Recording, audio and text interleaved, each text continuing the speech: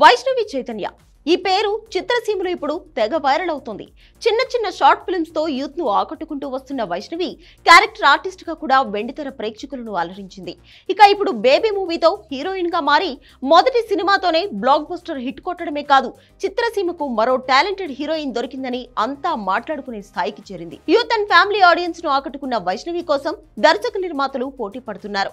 వైష్ణవి ఎంత అడిగితే అంత రెమ్యూనరేషన్ ఇస్తామంటూ ఆమె ఇంటి వద్ద పడిగాపులు కాస్తున్నారట.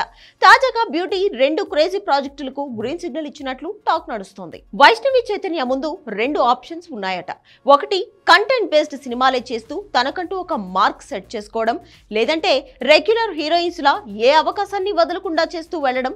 ఈ రెండిటిలో వైష్ణవి ఏ ఆప్షన్ ఎంచుకుంటుందో అలా ఆమె కెరీర్ కొనసాగుతుంది. కేవలం కంటెంట్ ఉన్న సినిమాలే చేస్తా అని కూర్చున్నా కూడా ఒక్కోసారి మంచి ఛాన్స్ మిస్ అవ్వచ్చన్న ఆలోచనలో ఉందట. అందుకే రెగ్యులర్ అని కాకుండా సినిమాలో తన పాత్ర నిడివి వీటిని చూసుకుంటూ పర్ఫెక్ట్గా ప్లాన్ చేసుకుంటుందట వైష్ణవి. ఇందులో భాగంగానే టిల్లు గాడితో రొమాన్స్ చేయడానికి రెడీ అయిందట. డీజే టిల్లు సినిమాతో ఓవర్ నైట్లో క్రేజ్ తెచ్చుకున్నాడు సిద్ధు జొన్నలగడ్డ. ఈ మూవీ యూత్ను బాగా అట్రాక్ట్ అవడంతో ఇప్పుడు టిల్లు స్క్వేర్ అనే సినిమా చేస్తున్నాడు. నందిని రెడ్డి దర్శకత్వంలో ఓ సినిమా చేయనున్నాడట సిద్ధు. త్వరలోనే ఈ సినిమా గురించి అనౌన్స్ చేయనున్నారు. అలాగే బొమ్మరిల్లు భాస్కర్ దర్శకత్వంలో ఓ సినిమా చేయనున్నాడు సిద్ధు. రీసెంట్గా పూజా కార్యక్రమాలను కూడా జరుపుకుంది. అయితే ఈ మూవీలో హీరోయిన్గా బేబీ హీరోయిన్ను అనుకున్నారట.